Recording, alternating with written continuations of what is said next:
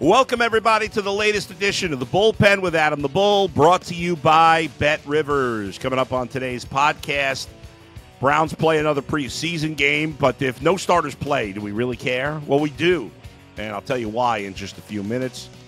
Plus, the Guardians, a miserable weekend.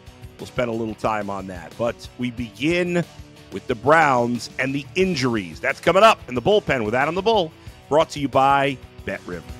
You're watching Adam the Bull on the BetRivers Network. The Browns lost their second straight uh, preseason game. Uh, I don't know why anybody would care about that. The score doesn't matter. They did lose 27 to 12, but what they lost more than that was more offensive linemen. And it's becoming a problem. Um, the Browns, first of all, let's start with Jed Wills. I don't know what's going on here. He had surgery almost a year ago on his knee. He's an offensive lineman. There seems to be some disconnect between him and the team. Uh, you're hearing a lot of rumblings behind the scenes that the team expected him to be ready. Now, I, you know, who knows what the truth is? Kevin Stefanski publicly just said, hey, Jed's working hard, but he's not going to practice this week. So your starting left tackle is not practicing. Um, James Hudson, who's terrible, got hurt. Hakeem Adeniji got hurt. Uh, their fourth string left tackle got hurt. It is a mess. And now Deshaun Watson, who hasn't played the entire preseason, we haven't seen him on the field in forever, is going to play supposedly in this final preseason game Saturday night in Seattle. And who's going to be protecting his blind side? I don't know. It's uh, a very ugly situation. And to me, there are some serious concerns about this Browns offense heading into the season. Obviously, I feel very good about the defense. I don't. It has zero to do with the preseason. Well, the reason the preseason mattered was because of the injury. It has nothing to do with. None of the guys that mattered played. Both quarterbacks were terrible, by the way. Huntley was bad. Dorian Thompson Robinson was bad. Neither had much time to throw the ball because the offensive line is an issue. The Browns couldn't really run the ball. Uh, you know, nothing particularly stood out uh, to me in the uh, in this game from a positive standpoint because n- most of the guys of note didn't play. But when we look at the offense, we're heading into the season here. Okay, the season starts in three weeks, and um, you have a situation where the defense you feel good about coming off a good season. It didn't end well, but everybody's returning pretty much. You've made some additions, but no drastic changes to the defense, no drastic changes to the defensive staff. There's continuity there. Not much has changed, and they were the strength of this team last year. On the offensive side, yes, Kevin Stefanski will still be the play the play caller, which is, is a positive for me. That's good. There's consistency there, but you have new cooks uh, making the brew here, and all these guys are new. The quarterback hasn't played. Obviously, we don't know what uh, what he's going to look like. I think we're pretty sure he's going to play Week One. We don't know it for certainty. With certainty, I assume he's going to play Week One, but we have no idea what to expect. I don't know what to expect for Deshaun Watson. I haven't seen good play since he's been here uh, for more than little bits and pieces and he's coming off another injury. I don't know what he's going to look like. We haven't seen it. We haven't even seen him on the on the uh, uh, in the preseason, and now we will. But now he's going to get boat raced potentially because they have no offensive, uh, no left tackle. It's a major problem. And uh, in, in terms of the running game, obviously we don't know when Nick Chubb's going to be ready to play. Uh, I, I, happen to think Jerome Ford's a decent player. D'Onta Foreman's a decent player, but neither one of them is Nick Chubb. We've got new guys in the passing game. You've got new coaches. You got question marks at the offensive line. I, I just right now, and maybe I'll feel differently when we get to opening day against Dallas, but against the Cowboys defense that should be pretty good this year and has a very good front with a good pass rush and a decent secondary. Uh, I'm nervous about what the Browns are going to be able to do offensively in that game. And uh, you hope that the defense could keep keep it close. And and again, you know, just because I have concerns doesn't mean it's going to be a disaster. I'm just saying I don't know what to expect. I'm not saying the Browns offense is going to suck. I'm just saying I'm not sure what it's going to look like. I don't know why I had to say I'm just saying. I could just could have just said it. The Browns can go out there week one. Deshaun Watson might look great. He might throw for 300 yards and three touchdowns, and the Browns could win handily, and everybody's thrilled. But I can't. I don't know how I could, how I or you or anybody could have any confidence in that happening right now. There's just at the moment far too many question marks on the offense to to have any level of confidence. So yes, I do think it's important for uh, Deshaun Watson to get out there and play for the first time in forever in this third preseason game. But in the same vein, it's also not an ideal situation because of what's happened at tackle. I mean, you look at the depth. Let's let's look at the depth chart because we're down to guy. And, and first of all, the Browns need to go out and get another tackle. You got Jedrick Wills on the pup list. He hasn't practiced at all. We got Jack Conklin on the pup list. He hasn't practiced at all. Luke Wypler got hurt. I know he's not a, a tackle, but he got hurt because we haven't seen him. Uh, you look further down the depth chart. James Hudson, who's the second uh, tackle, he's hurt. Hakeem Adeniji, who they picked up, former Bengal, former Viking, hurt. You're down to guys like Lorenzo Thompson. I think Germain Ifedi, who's listed as the third string right tackle on the roster, who they picked up as a free agent. I think he might have been in San Francisco. I know he played, I'm pretty sure he played for Seattle in the past. He's probably going to be starting at left tackle. At least he's played in the league. But it's it's a very I mean, when you're down to your fourth or fifth option at left tackle, it's pretty concerning. Did Ifedi play for Seattle? Yeah, he started with Seattle. Um, he was a he was actually a first round pick back in 2016. Uh, he hasn't started a game since 2021. He hasn't played period since 2022.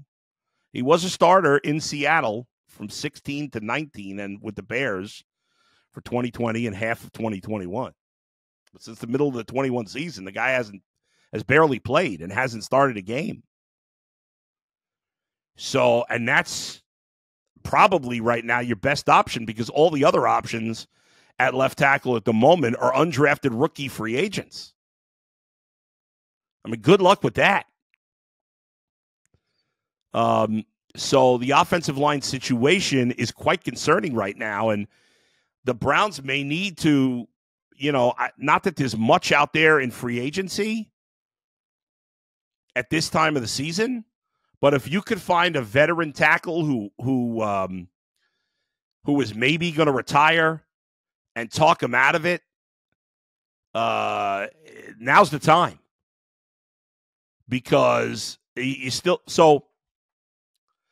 Uh, David Bakhtiari, Bakhtiari for the Packers is probably the best player out there. He's missed a ton of time due to injury, but he's only 32 years old. I don't, you know, he hasn't signed with anybody. Um, I have no idea what, why he. I, I don't know if he's unofficially retired. Who knows? You got DJ Humphries, who used to be a starter for the Cardinals. He's all right. He had a bad year last year. Uh, a lot of injuries with him. Uh, the, Charles Leno is 32 years old. He's been a decent player. Um, that so there's three guys right there that have to be better than what they have. I mean, none of the David Bakhtiari, if he's if he's healthy, it's a big if. Uh, supposedly is now. Um, is is a good player. I, I mean, if I'm the Browns, I got to be aggressive and go out and get somebody because I, I'm down to the Drex at the left tackle position and you can't, when you're going to play your franchise quarterback next week for the first time in, in, in a long time, he's got, you got to at least try to protect him. I can't throw in my fifth string left tackle. And you might not have a choice, but because I don't know, maybe the three guys I mentioned are not in, in playing shape yet. I have no idea if any of those guys have been keeping in shape or want to play. I, I, you know, I don't know. But um, the Browns have to at least, I'm sure they're doing their due diligence. I mean, to be fair to them, a lot of this just happened over the weekend. Um, but once uh, Kevin Stefanski said Jedrick Wills is not going to practice or play this week, I mean, if he can't practice or play this week, is he going to be ready for the opener?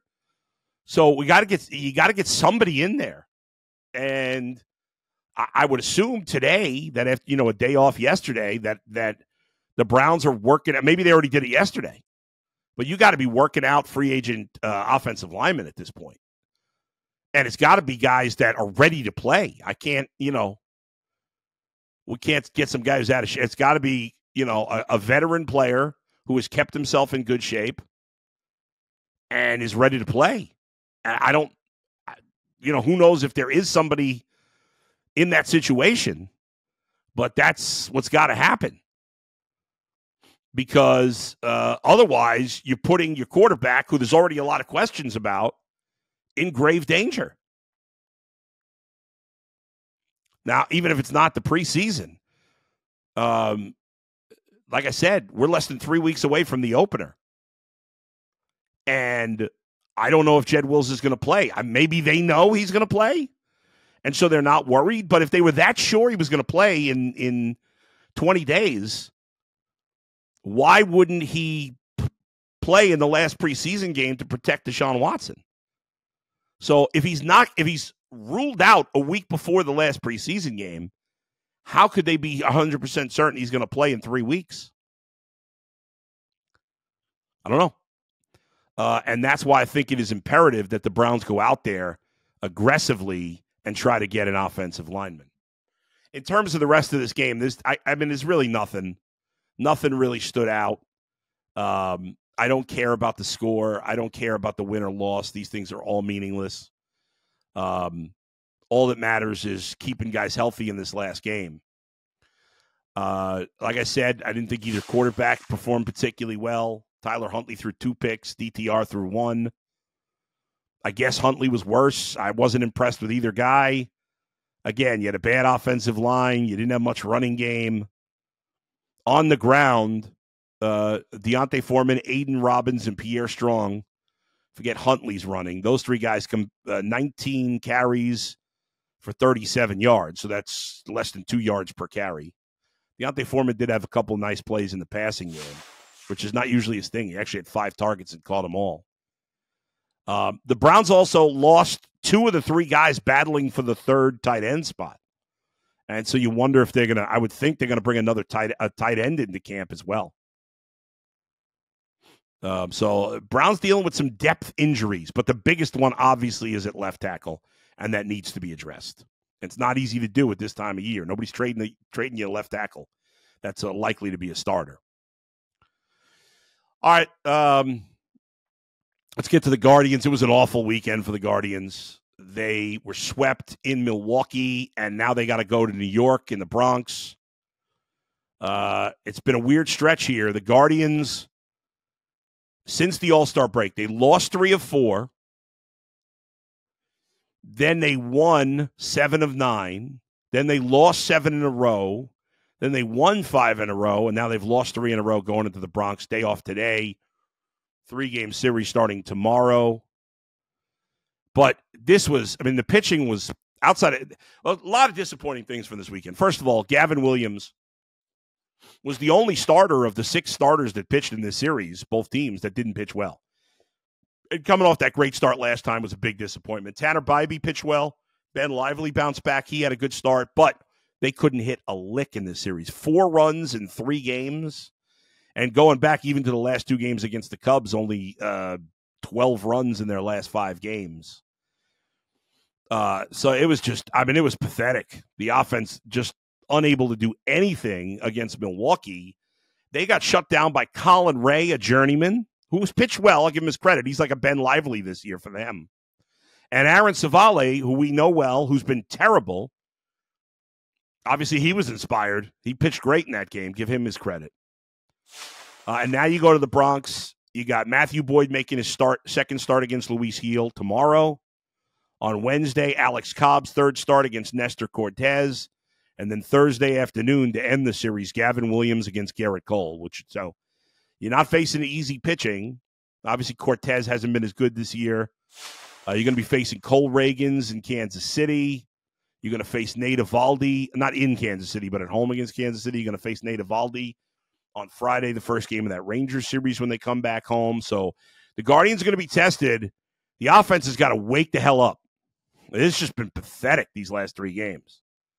And you had the good momentum, nice sweep of the Cubs after salvaging that Minnesota series. And to just lay an egg like that, not even take one in Milwaukee, was really disappointing. And meanwhile, Kansas City's won four in a row. Uh, Minnesota did lose yesterday, but the Twins are only two back, and the Royals are only three back. This division is far from over, and it's it's a battle.